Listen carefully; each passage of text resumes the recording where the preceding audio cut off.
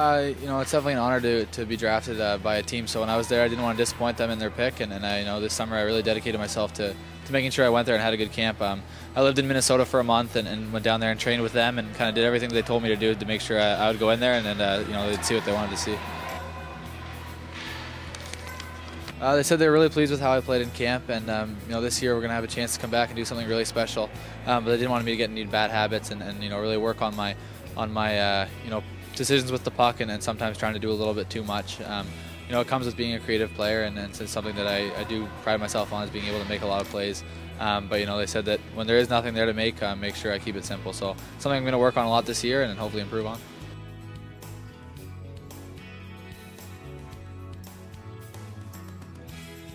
Uh, you never know. It's hard to say. Right now, we're all feeling about a 10. Um, you know, you want to come in with a positive, positive attitude and be confident, and, and uh, you know, really go into games thinking that you're going to win. Um, so, we know we have a good team, and we know we have a good chance at it, and we're going to work hard and do everything we can to do it.